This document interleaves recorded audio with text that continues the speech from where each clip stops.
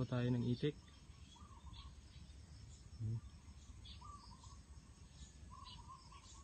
Yung kulungan nila, dating kulungan to ng baboy. Kaso dahil sa AES, eh, kinonvert namin sa kulungan ng itik. Kaso mailap pa sila eh. Malagat namin.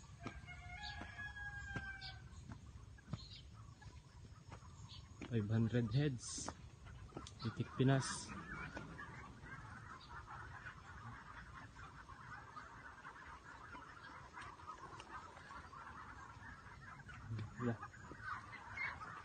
Kaso may ilap. Hindi ko alam paano paamuhin pa.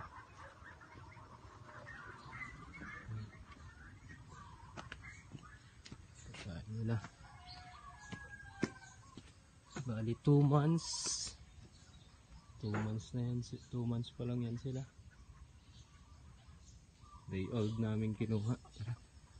Tawagin natin.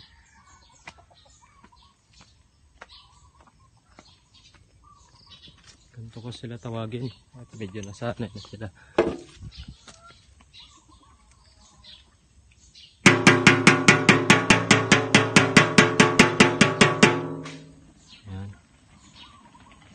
Nasanay na sila sa tuktok.